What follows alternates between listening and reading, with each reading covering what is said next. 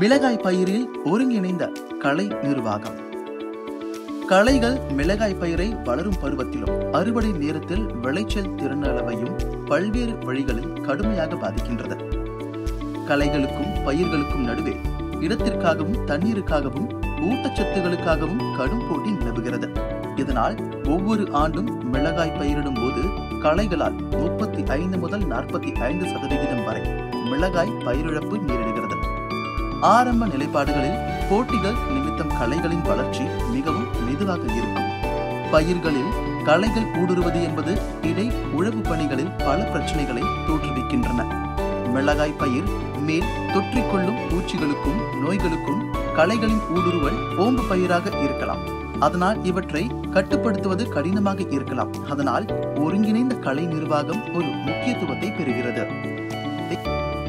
பயனுள்ள கலை நிர்வாகத்திற்கு இவை சில பொது வழிமுறைகள் ஆகும் மிளகாய் பயிரை சரியான நேரத்தில் விதைப்பதால் பயிர் விரைவாக வளரும் விதானமும் குறுகிய காலத்தில் நன்றாக படர்ந்திருக்கும். இது களைகள் படர்வதையும் தடுக்கும். பொதுவாக குறைந்தது இரு முறையேனும் களை எடுப்போமானால் வயலை களைகளிலிருந்து விடுவிக்க இயலும். விதைத்த இருபது முதல் இருபத்தைந்து நாட்களுக்குள் ஒரு முறையும் முதல் களை எடுத்தலுக்கு பின் இருபது முதல் இருபத்தைந்து நாட்களுக்குள் இரண்டாம் முறையும் களை எடுப்பதால் இதன் தீவிரம் குறையும். தேவைப்பட்டால் இன்னும் ஒரு அல்லது இருமுறை கூட களை எடுக்கலாம். களை எடுக்க களை கொத்து மண்வெட்டி போன்ற கை கருவிகளை பயன்படுத்தலாம். அளவு குறைவாக இருக்கும் பட்சம் களை எடுக்க இதுவே மிகவும் பாரம்பரியமான நல்ல திறனுடன் களை எடுக்கும் முறையாகும்.